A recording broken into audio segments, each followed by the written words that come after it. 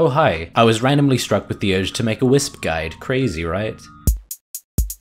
In all seriousness, I feel like it's my duty to at least nominally educate everybody on the potential and limitations of your average Wisp now that the Arcana has come out and brought people to the hero. This guide's unique in that it's not how I'd normally play him laning wise. It, I'm, I'm one of those weirdos who plays him mid or jungle, but baby steps. There's a lot of basics to cover before we can even attempt to wrap our heads around that. So this build's a typical support IO guide dealing with your role in the game and your own personal objectives and what they should be, as well as some advanced mechanics you can use to trick people into thinking you're good at Wisp. I mean IO.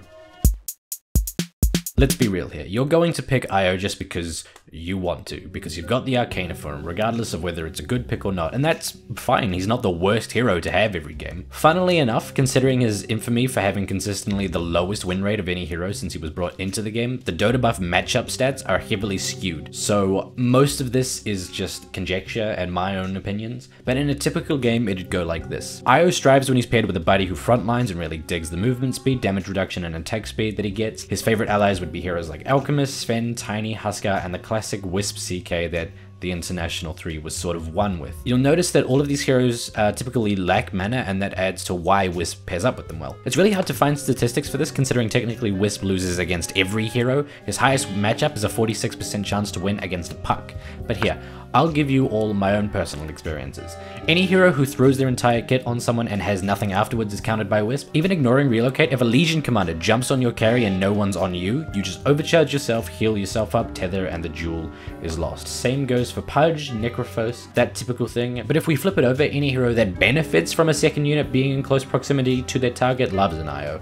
Imagine a Witch Doctor throwing a cask on your carry only for you to save them by tethering into bounce range. The same goes for Wind Ranger and Shackle Shot and Lich and Chain Frost, but the counter you'll run into the most you can't even plan around because it's the accidental clipping, the collateral damage kill. I think like Luna and Gyro and Tinker and Medusa and Puck and maybe Earthshaker and like Warlock with Fatal Bonds. But ignoring all of that, here's a question. Can Riki backstab Io? Yes, yes he can. This is a silly question. Move on. As with every only way to play guide I've done, and will ever do, you can find this one in-game as well as on YouTube, the link is in the description, and the skill build goes like this. Remember when Tether stunned? What a weird time that was. Oh, it's back! This build is pretty much not even really tinkered with. 90% of your typical support Wisp games, you'll do this exactly, which of course means that I wouldn't, because I wouldn't play Wisp as a support. But that's a story for maybe next month. Tether Tethers. You know what this spell is. Basically, it has a cast range of 1800, and if you cast it from between 700 to 1800 range, you'll be pulled to the unit. If you're under 700, you don't move at all. And if you then move further than 900 units, the tether breaks. A good way to learn the 900 unit limit is to pay attention to the particles of the spell. At 700, it changes color, and at 800, it starts flickering. Tether gives movement speed to both units. It can be used on creeps, and enemies that pass through the tether are slowed. Tether can't be cast on allies using BKB, and after Tether is cast for the 12 second duration, you can break Tether with the sub ability. But the biggest part of Tether is that it heals the tethered unit 150% of any of Io's health and mana regen. That includes just base regen. It works like this. If Io has a heal on him, but he's full health himself, herself, the tethered unit won't heal, which sucks, unless of course we had a spell that drained health and mana constantly.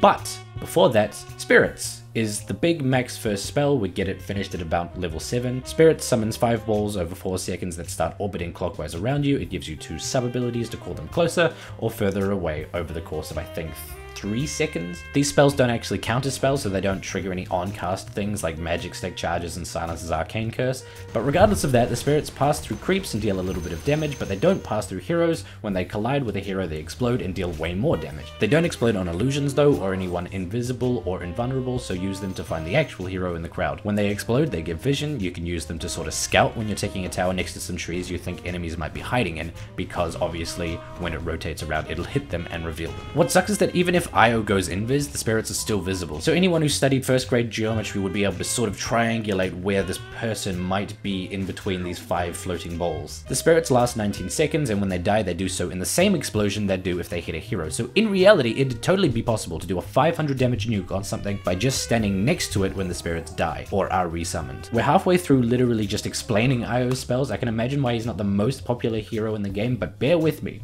Overcharge is secretly Io's enabling skill. Basically, Overcharge is turned on, gives you and your tethered ally a bunch of attack speed and damage reduction, but drains Io's health and mana, and only Io's health and mana. Your allies don't lose anything, and the health and mana regen is the same no matter what level it is. But the thing is, it's your current HP and mana, so after the 70% mark, you're already innately regening enough of both to counteract it. And then there's Relocate. So, Relocate sends anywhere on the map for 12 seconds and then without question or protest brings him right back. You cannot stop this. You can't use yourself, you can't BKB, nothing will stop you from coming back other than death. Anyone he's tethered with travels to and from with him, but you don't actually have to have the same person tethered on both trips.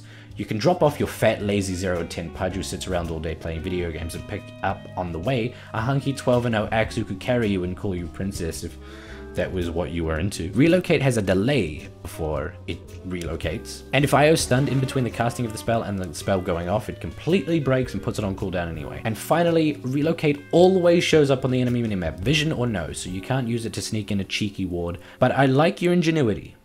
I like that. Once again, I gotta remind you, this is the normal IO build, so don't be surprised if I suggest items that actually help your team. Buy the courier, buy some tangos. If your team's okay with it, you can skip over all of the starting items, get the bounty rune first, and immediately get a bottle. If you wanted to do that, you have 75 gold to spend on a branch or a faerie fire, but usually I just buy a ward. We have an interesting little spin on the usual should my carry get phase or treads dilemma. As a support, our options are tranquil boots versus arcane boots, but in this one scenario, the answer is pretty self-contained. Get both. Get Tranks and Arcanes. Io is really the only support you can really justify that on every game. Maybe you have a Tusk going Greaves, but early game you got Tranks for better roaming and he had a CM on his team to cover mana. Random situations like that, yeah, I can see it, but Io, you can argue every game it's good.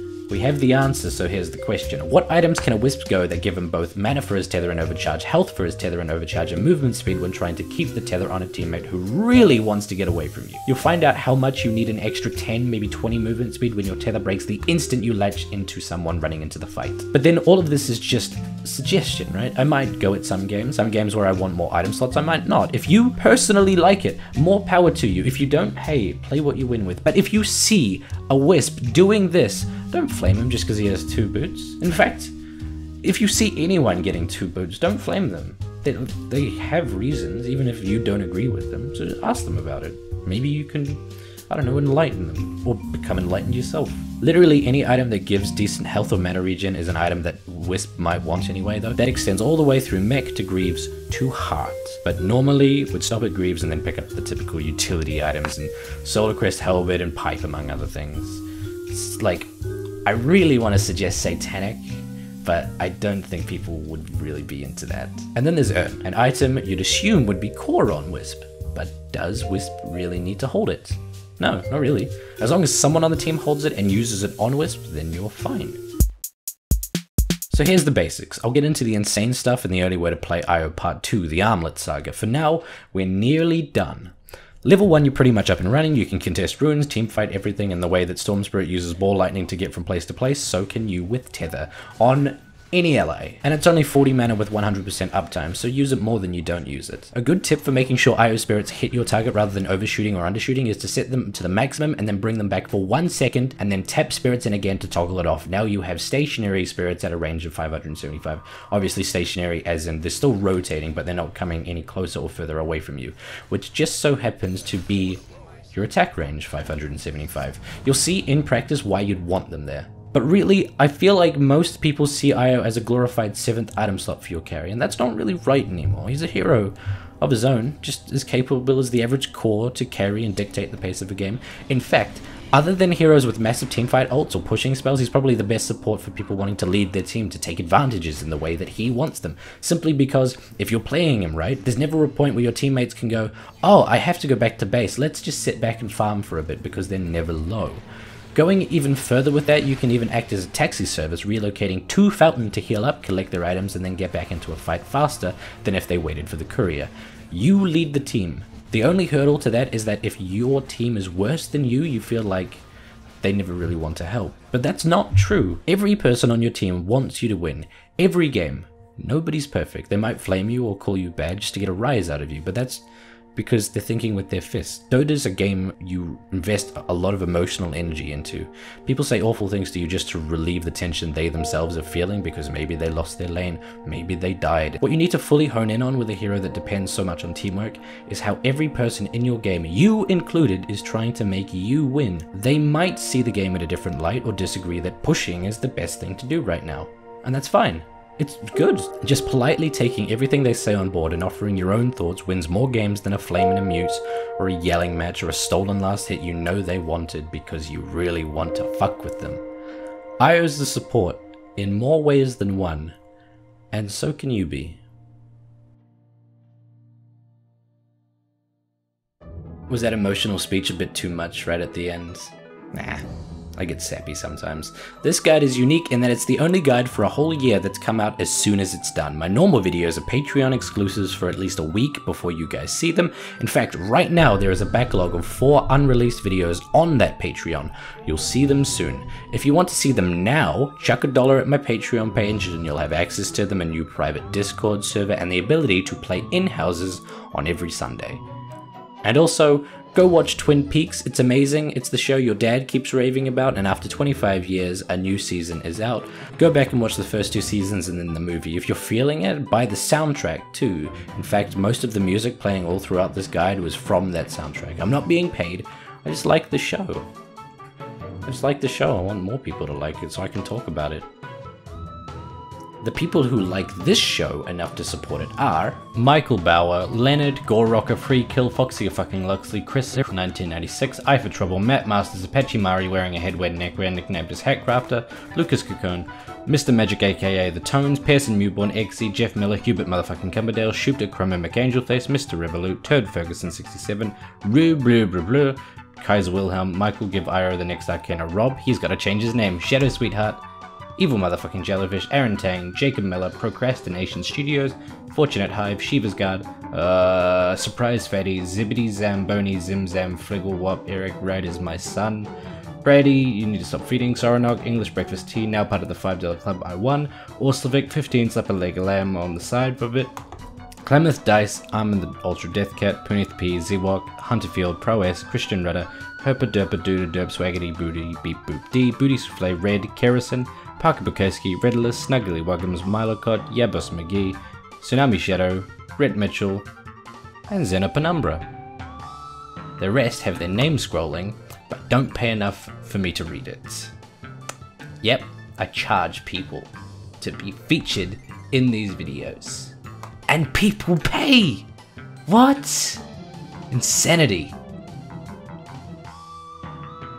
I guess we just wait until the whole thing is scrolled. Probably could speed up the footage, that would probably help.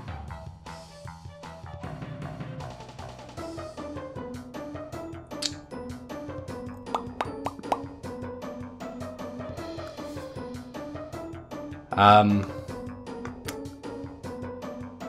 Oh, okay, we're coming up to the end. Okay, bye.